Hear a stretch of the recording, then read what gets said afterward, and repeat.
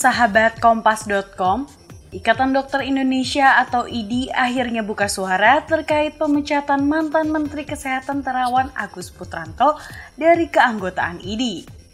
Diketahui, IDI melakukan pemecatan terhadap Terawan berdasarkan rekomendasi Majelis Kehormatan Etik Kedokteran atau MKEK.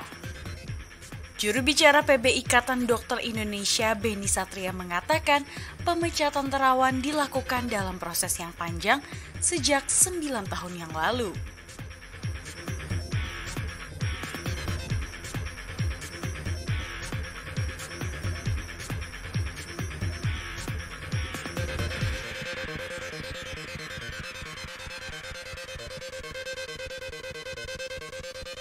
PBID memiliki waktu 28 hari untuk mengeksekusi hasil sidang khusus MKEK terkait pemecatan terawan. Sebelumnya, Menteri Kesehatan Budi Gunadi Sadikin telah berkomitmen untuk membantu mediasi antara ID dengan terawan.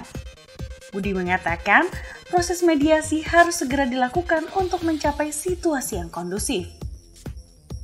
Diketahui, Hasil rapat sidang khusus MKEK memutuskan untuk memberhentikan secara permanen terawan dari anggota ID. Keputusan itu dibacakan dalam Muktamar ke-31 Ikatan Dokter Indonesia di Kota Banda Aceh pada Jumat 25 Maret 2022.